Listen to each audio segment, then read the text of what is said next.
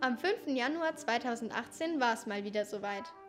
Die Villa Böhm in Neustadt an der Weinstraße veranstaltete erneut eines ihrer populären Treppenhauskonzerte. Nicht nur wegen den Konzerten oder dem architektonisch bemerkenswerten Gebäude kommen die Besucher auf ihre Kosten. Das Stadtmuseum bringt Interessierten auch die spannende Geschichte Musbachs näher. Eine weitere Sehenswürdigkeit ist die Kunstgalerie. Dort können verschiedene Künstler ihre Werke ausstellen. Durch das Weingut Sommer aus Hambach wurden die Gäste auch kulinarisch mit Fingerfood und Wein versorgt. Um 20 Uhr war es dann soweit.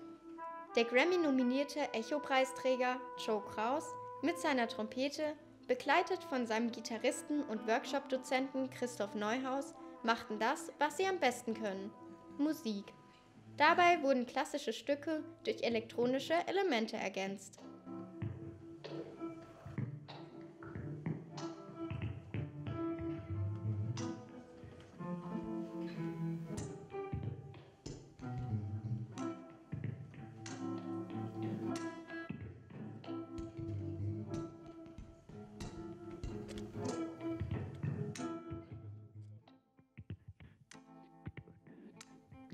Wer Lust bekommen hat, dieses Event einmal hautnah mitzuerleben, hat am 2. März erneut die Chance dazu.